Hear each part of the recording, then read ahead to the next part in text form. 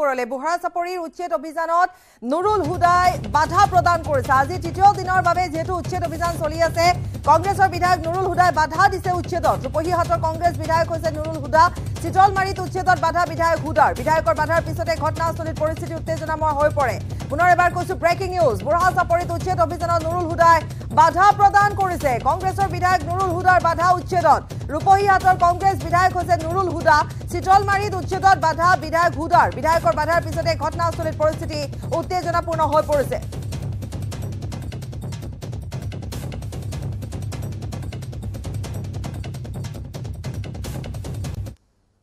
আৰু আজি যিহেতু তৃতীয় দিনাও উচ্ছেদ অভিযান চলি আছে নগাঁও আৰু শোণিতপুৰ জিলা প্ৰশাসনে চলাইছে উচ্ছেদ অভিযান। প্ৰায় ছয় হাজাৰ সাতশ বিঘা ভূমি বেদখলমুক্ত কৰিছে প্ৰশাসনে। বৃহৎ সংখ্যক আৰক্ষী অৰ্ধসামৰিক বাহিনী মোতায়েন উচ্ছেদস্থলীত আজি চিতলমাৰী বৃহত্তৰ অঞ্চলত চলিছে উচ্ছেদ অভিযান। পুনৰ কৈছো চিতলমাৰী বৃহত্তৰ ঠাইত বৃহত্তৰ এলেকাত আজি অভিযান চলিছে উচ্ছেদ অভিযান চলি আছে। বুঢ়া চাপৰি অভয়াৰণ্যত আজি তৃতীয় দিনাও অভিযান চলিছে। আৰু এই সময়ছোৱাত আমি পুনৰ এবাৰ কৈছো নুৰুল হুদাই বাধা প্ৰদান কৰিছে। ছয় হাজাৰ সাতশ বিঘা বেদখলমুক্ত কৰিব ভূমি। তিনি সহস্ৰাধিক আৰক্ষী আৰু চি আৰ পি এফ মোতায়েন কৰা হৈছে। আজি তৃতীয় দিনা উচ্ছেদ অভিযান চলি আছে। চিতলমাৰীত উচ্ছেদ অভিযান চলাইছে প্ৰশাসনে। তাত নুৰুল হুদাই বাধা প্ৰদান কৰিছে। মছজিদ আছে ঘৰ আছে অংগনবাড়ী কেন্দ্ৰ আছে বিদ্যালয় আছে। আমি এক প্ৰকাৰ ক'বলৈ গ'লে তাত এখন সৰু চহৰ আছে আৰু এই সমগ্ৰ ঠাইখিনি বৰ্তমান উচ্ছেদ অভিযান চলাই থকা হৈছে। বুঢ়া চাপৰিত আজি তৃতীয় দিনাৰ উচ্ছেদ অভিযান অব্যাহত আছে।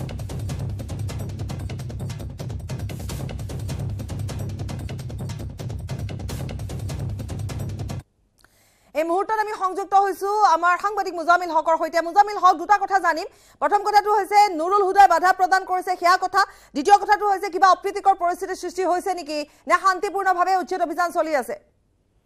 হয় বাপুৰি।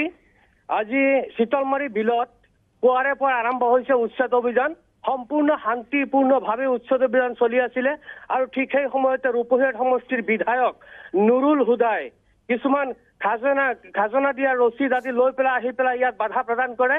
বাধা প্ৰদান কৰাৰ পিছত অৱশ্যে কিছু সময়ৰ বাবে সাময়িক কিছু সময়ৰ বাবে স্থগিত ৰখা হয় উচ্ছেদ অভিযান। কিন্তু পৰৱৰ্তী পৰ্যায়ত নুৰুল হুদা ইয়াৰ পৰা যোৱাৰ পিছতে আকৌ উচ্ছেদ অভিযান চলি আছে। বৰ্তমান উচ্ছেদ অভিযান চলি আছে সম্পূৰ্ণ শান্তিপূৰ্ণভাৱে উচ্ছেদ অভিযান চলি আছে। ইয়াত দেখা গৈ লাগিব যে যে বুঢ়া চাপৰিৰ যিটো ভূমি আছে ভূমিত বিদ্যুৎ সংযোগ বিদ্যালয় মছজিদ মাদ্ৰাছা ঘৰ পকী ঘৰ আদি বনাই পেলাই।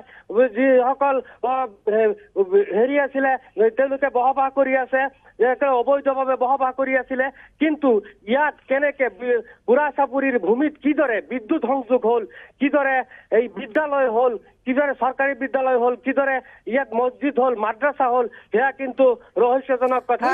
এয়া এটা ৰহস্যজনক বিষয় যে তাত এনেধৰণে মছজিদ কেনেকৈ হ'বলৈ পালে অনুমতি ক'ৰ পৰা পালে বিদ্যালয় কেনেকৈ হ'ল অংগনবাড়ী কেন্দ্ৰ কেনেকৈ হ'ল আৰু তাত যদি এইসমূহৰ অনুমতি দিয়াই হৈছে সেয়া কাগজ পত্ৰ নথি পত্ৰ কাৰ নামত আছে কোনে তাত আনকি আপুনি যদি মন কৰে মুজামিল এজন লোকে কৈছিলে যে মছজিদক তেওঁ ভূমি দান কৰিছিল য'ত তেওঁৰে ভূমি নহয় তেওঁ দান কেনেকৈ কৰিলে? গতিকে ইয়াৰ আঁৰত এটা নিশ্চিতভাৱে দালাল চক্ৰ আছে মুজামিল। হয় এই চৰাঞ্চলত বৃহৎ চৰাঞ্চলত এটা দালাল চক্ৰ আছে ভূমাফিয়া আছে যাক মানে মাতাব্বৰ মাত- মতাব্বৰ বুলি কোৱা হয়। এই মতাব্বৰসকলে মাটি দখল কৰি পেলাই বুঢ়া চাপৰিৰ মাটি দখল কৰি পেলাই তেওঁলোকে ইয়াত বিক্ৰী কৰিছে। আৰু সেই বিক্ৰী কৰা মাটি যিহেতু মাটিখিনি সম্পূৰ্ণৰূপে বুঢ়া চাপৰি ভূমিৰ মাটি বুঢ়া চাপৰি অভয়াৰণ্যৰ মাটি আৰু সেই মাটি লৈ পেলাই সেই মাটিখিনি তেওঁলোকে দান কৰিছে।